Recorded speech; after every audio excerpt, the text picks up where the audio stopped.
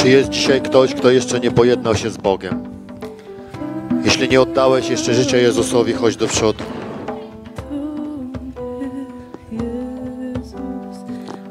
Kto jeszcze? Kto jeszcze chce się pojednać z Bogiem? Kto jeszcze? Halleluja.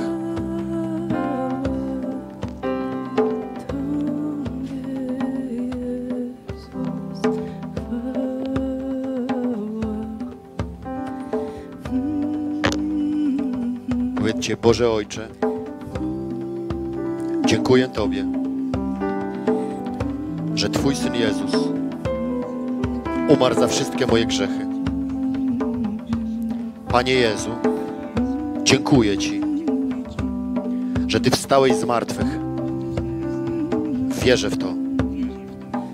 Wierzę, że przebaczyłeś mi. Od dzisiejszego dnia Ty, Jezu, jesteś moim Panem. Amen. Duchu Święty wypełni ich teraz swoją obecnością i mocą, swoją siłą, mądrością. Niech Twoje życie teraz przeniknie ich.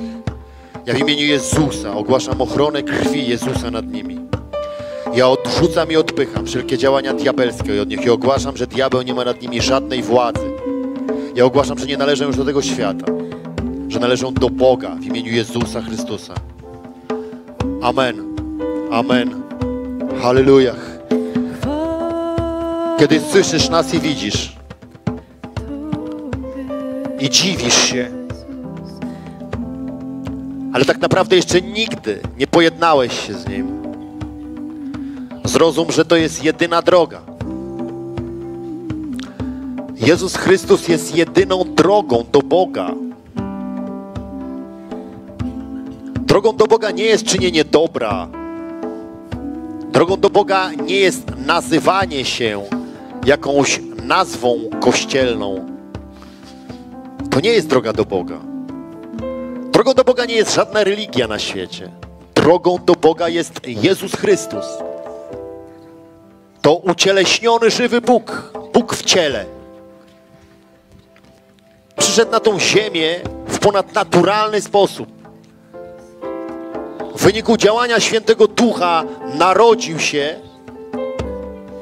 z kobiety, która nigdy nie miała nic wspólnego z mężczyzną.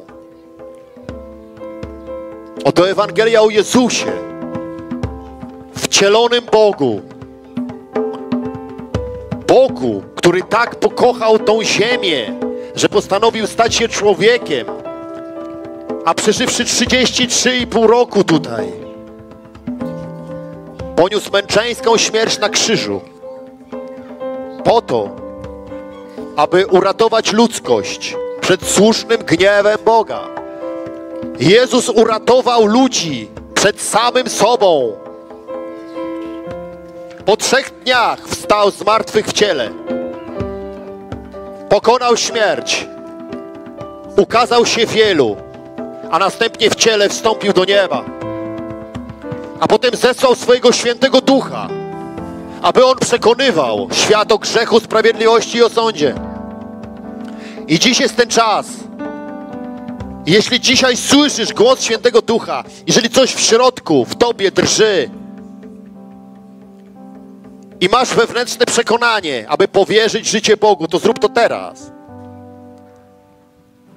Powiedz, Boże, przepraszam Cię, że żyłem bez Ciebie. Wierzę, że Jezus Chrystus umarł za moje grzechy, że przebaczyłeś mi. Wierzę, że Jezus Chrystus wstał z martwych. Z martwych wstał w ciele. Przyjmuję Ciebie, Jezus, jako Pana i Zbawiciela. Ta prosta modlitwa doprowadziła Cię do tego, że stałeś się dzieckiem Boga. Dziękuj za to.